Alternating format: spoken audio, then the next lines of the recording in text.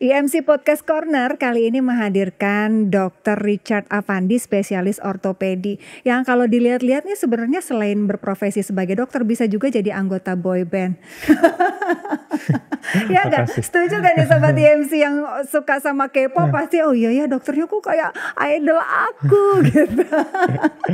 Oke, okay. Dr. Richard Avandi, spesialis ortopedi ini bisa sobat IMC temui di Rumah Sakit IMC Pulau Mas kalau punya permasalahan. Nah, Nah, kita tanya permasalahan apa aja nih yang ditangani sama dokter Richard ya. Oke, biasanya ortopedi itu kan ya orang awam secara umum pasti kalau saya punya masalah tulang nih ya ke ortopedi betul, ya kan. Betul. Padahal sebenarnya hmm. apa aja dok selain tulang? Oke, hmm. jadi sebenarnya memang yang Mbak bilang benar. Mm-hmm. Selalu orang identikan tuh ortopedi sama bedah tulang dulunya mm-hmm. ya. Mm-hmm. Jadi sebenarnya ortopedi ini tuh lebih luas mm-hmm. ya. Jadi kami itu sebagai ahli ortopedi akan mengobati atau istilahnya melayani pasien-pasien tuh yang mempunyai kelainan atau penyakit yang berhubungan dengan anggota gerak. Anggota gerak. Anggota gerak. Apa aja yang mencakup anggota gerak itu, Dok? Oke, yang segalanya bisa bergerak ya. Aha, aha. Jadi contohnya seperti pinggang, punggung, ya, hmm. tangan, kaki. Jadi semua yang merupakan anggota gerak hmm. itu kami uh, istilahnya akan dapat melayani dan merawat di bidang itu -hmm. ya.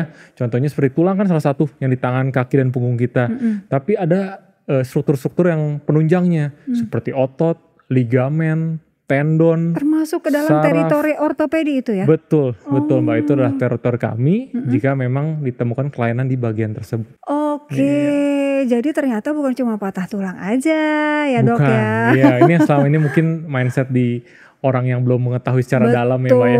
ya. itulah pentingnya Sobat IMC selalu menyimak setiap episodenya IMC Podcast Corner. Selalu menemukan ilmu baru pokoknya di sini. Oke, nah akhir-akhir sendiri, akhir-akhir ini nih dokter uh, menemukan kasus apa nih yang kayaknya wah ini kok jadi makin banyak ya. Terutama mungkin yang datang ke IMC Pulau Mas secara khusus.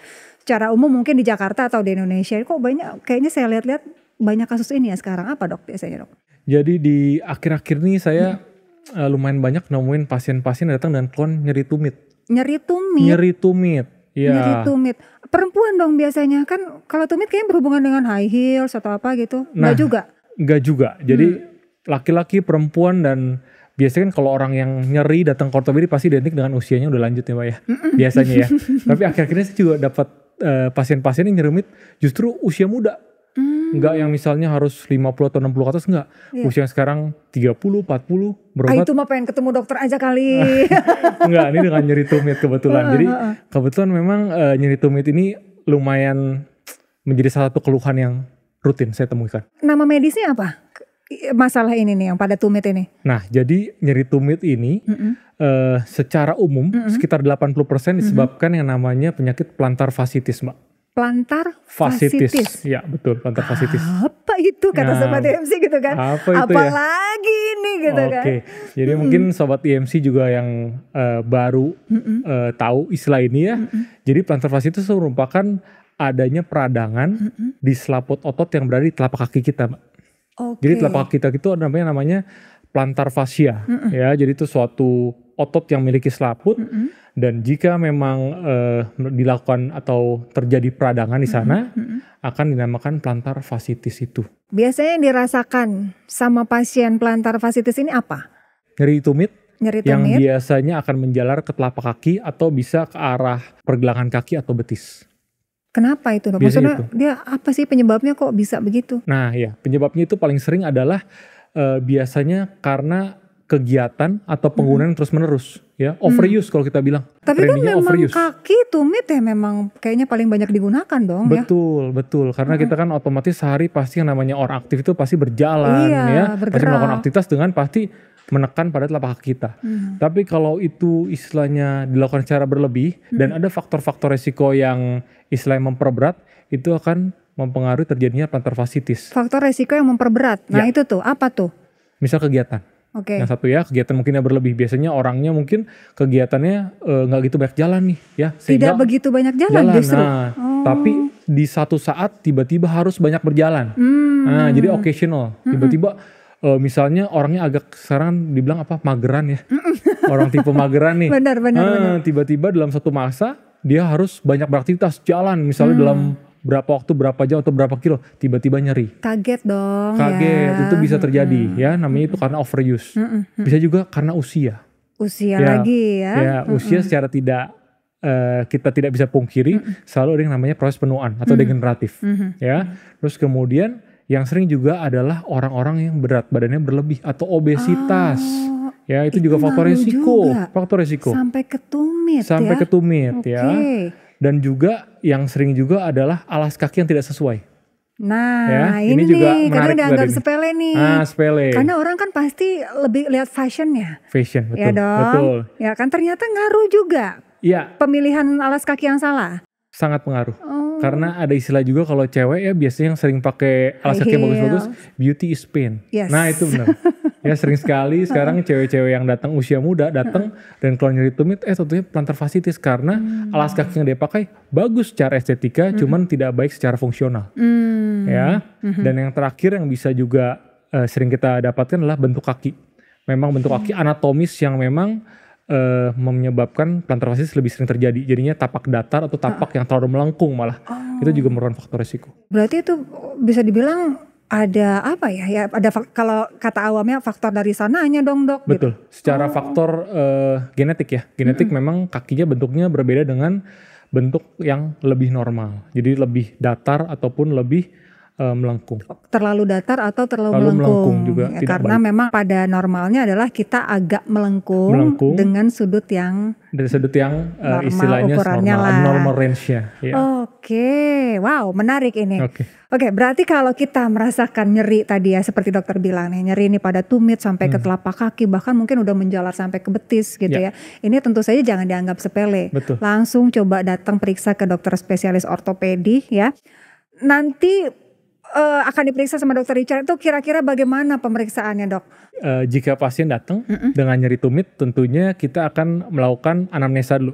Pertanyaan-pertanyaan yang. Oh, mengarahkan kita bahwa apa nih penyebabnya? Karena penyebab tadi kan saya sudah sebut Iya, agak gaya banyak ya. hidupnya seperti apa Betul, gitu betul. kan. Gaya Melakukan apa. kegiatannya apa aja. Betul, betul. Atau misalnya ada riwayat trauma akhir-akhir ini, mungkin Hmm. ada kebentur, ada jatuh, itu kan juga satu faktor resiko, ya. Terus juga kemudian ada nggak penyakit penyerta, misalnya pada orang tua, ya. Ternyata nyeri di tumit ini nggak cuman penyakit yang terjadi pada pelantarnya aja. Kadang-kadang kalau orang tua yang mempunyai penyakit diabetes mellitus juga ada hubungannya namanya neuropati. Neuropati bisa terjadi nyeri di mana aja. Oke. Nah, kalau memang neuropati kena di tumit, ya jadi seakan-akan seperti plantar fasciitis, padahal mungkin karena neuropati, Mhm. ya. Terus juga kita harus tanyakan lagi aktivitas fisik apa yang akhir-akhir ini dilakukan. Apalagi kalau pasien muda dong kita. Iya, Nah, iya. otomatis kita harus tanya dulu kegiatan apa nih. Nah, kira kenapa kamu tiba-tiba sakit? Iya. Ya dilawali apa atau onsetnya berapa lama biasanya? Hmm, barulah nanti kita bisa Kita melakukan kembangkan lagi. Uh, penanganan. penanganan. Dengan Oke. kita periksa dulu tentunya dari tumitnya kita pastikan dulu lokasi sakitnya di mana dengan pemeriksaan fisik. Dan tentunya jika kita sudah eh, mengetahui bahwa ya ini seperti plantar fasciitis memang biasanya pemeriksaan penunjang bisa kita lakukan ataupun tidak. Karena plantar fasciitis sendiri harusnya bisa ditegakkan dari hanya anamnesa dan pemeriksaan fisik ya. Eh, dulu sering banyak yang bilang kalau plantar fasciitis nih mirip-mirip gejalanya sama kalau ada penumbuhan tulang di tulang tumit kita. Namanya calcaneal spur zaman dulu. Oh. Jadi mungkin dok eh, katanya tulang yang ini ada durinya dok ya. katanya. Sering tuh zaman dulu orang nanya kemungkinan itu ya dok ya yang ada tajam-tajam di tulang saya. Jadi secara penelitian sampai akhir-akhir ini nggak semua orang yang plantar fasciitis itu ditemukan kelainan pada tulang Hmm. ya. Tapi biarpun ada kelainan pada tulang, ada yang timbul pekapuran istilahnya, pengapuran pada tulang tumit, kadang-kadang tidak disertai juga nyeri tumit. Hmm. Jadi ini merupakan dua diagnosa yang sekarang kadang-kadang berjalan beriringan, kadang-kadang tidak berhubungan sama sekali. Hmm, Hmm. Jadi oke. pemeriksaan X-ray tidak wajib saat ini untuk plantar fasciitis. Oke. Nah, itu pengobatannya kira-kira berapa lama? Terus kita diapain aja gitu loh, Dok, terapinya, Dok? Jadi untuk plantar fasciitis sendiri ini, jika memang kita sudah mendiagnosa plantar fasciitis, tentunya kita awali dengan eh, terapi yang paling dasar dulu. Ya, biasanya kita berikan obat, ya obatnya berupa painkiller dan antiinflamasi karena pada dasarnya penyebab utamanya adalah proses peradangan, inflamasi. Peradangan, iya. Jadi kita akan kasih obat antiinflamasi dan tentunya kita akan memberikan nasihat kepada pasien, ya, yang tentunya jika memang ada kegiatan yang berlebih atau overuse ya kita tentunya namanya ada cedera kita suruh istirahatkan dulu Hmm. biasanya ya. Hmm. Terus kemudian jika untuk tahap selanjutnya biasanya jika tidak banyak membantu dengan obat-obatan oral misalnya Mhm. kita akan tawarkan kepada pasien akan kita lakukan penyuntikan biasanya Hmm. ya penyuntikan di lokasi plantar fasciitis itu untuk meredakan peradangan dengan nyeri Mhm. ya. Jika memang dengan injeksi itu membaik namun belum maksimal bisa dapat ditambahkan lagi dengan fisioterapi Hmm. ya terapi Oke. fisik Ya. atau kita ajarkan stretching biasanya karena eh, 80% dari plantar fasciitis biasanya eh, terjadi kekakuan di Hmm. otot plantarnya dan otot betis biasanya bisa terjadi juga. Jadi kita ajarkan stretching pada pasiennya. Hmm. kemudian ada juga terapi yang saat ini juga sedang dikembangkan yang namanya ESWT Apa itu dok? extracorporeal shockwave therapy. Jadi seperti digetarkan. Hmm. ya digetarkan di telapak kakinya itu dengan maksud untuk memperbanyak atau memperlancar peredaran darah di Peredaran daerah darah. plantar fascianya sehingga kalau ada kerusakan tentunya dengan pembuluh darah dan vaskularisasi yang lebih lancar dari itu pemulihan akan lebih cepat terjadi. Oke, baik dok. Sebelum kita lanjut lagi, ini ada beberapa pertanyaan dari netizen dok yang Oke. sudah masuk Oke, ya. baik. Ini khusus spesial untuk Ya. dokter Richard ya. Oke. Oke. Ini pertanyaan yang pertama.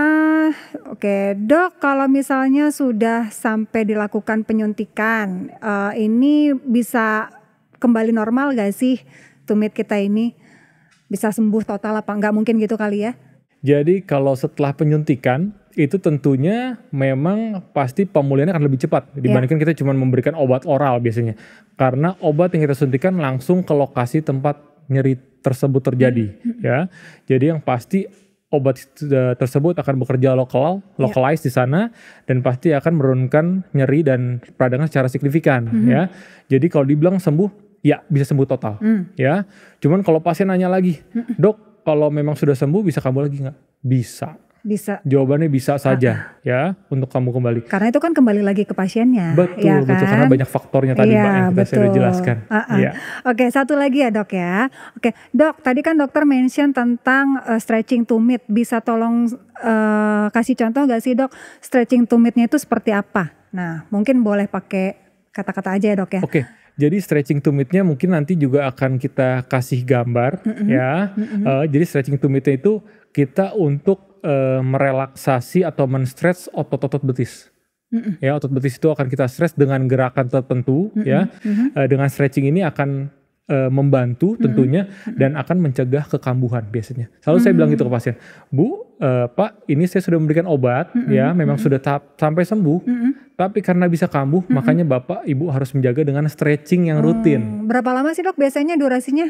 Stretchingnya itu satu gerakan 10 detik 10 detik. Oh, Kanan atau sebentar. kiri, ya sebentar aja ya. Cuman satu gerakan atau dua gerakan aja ya 10 detik dan tapi dapat dilakukan berulang-ulang setiap hari ya untuk mencegah kekambuhan. Iya, iya, iya. Hmm. Gerakan yang simple sebenarnya, tapi ini memang kadang lupa untuk kita lakukan ya dok ya. Betul, Iya, betul, sama betul. kayak kita yang sering eh, apa kerjanya di belakang meja kan sebenarnya nggak sadar kadang-kadang kita perlu juga kan melakukan stretching. Stretching, betul, ya betul kan sekali. pinggang, leher, tangan, Nah, tumit juga perlu. Tumit juga perlu, apalagi Iya. kita setiap hari beraktivitas pasti menggunakan telapak kaki. Hmm, Oke deh kalau gitu, Dokter Richard, terima kasih banyak nih. Oke. Kita jadi tahu tentang plantar fasciitis ya, Ya. atau juga eh, sakit tumit atau nyeri tumit ya. Nyeri Tadi tumit. kita udah mengenali gejala, penyebab, pengobatannya seperti apa, udah sangat eh, apa jelas sekali ya hari ini ya kita bahas tentang ini. Dan terima kasih banyak buat sobat IMC juga yang pengen berkonsultasi dengan Dokter Richard. Beneran konsultasi, jangan curhat ya. Traumanya trauma tulang, jangan trauma hati kalau sama Dokter Richard ya. Oke. Oke, bisa cek eh, jadwalnya Dokter Richard ini kalau sudah eh, apa namanya download mobile apps namanya IM Care ya. Di sana ada jadwal dokter, kita bisa bikin appointment, bisa juga cek medical history kita seperti apa, semuanya bisa lebih simple lewat eh, IM Care ya yang bisa di-download di, di App Store dan juga Play Store. Oke. Kalau gitu terima kasih banyak sekali lagi Dokter Richard. Kita pamitan Sama-sama. dulu sama sobat. IMC yang sedang menyimak IMC Podcast Corner di channel YouTube RSIMC. Kita ketemu lagi di lain waktu lain kesempatan. Sampai jumpa. Bye.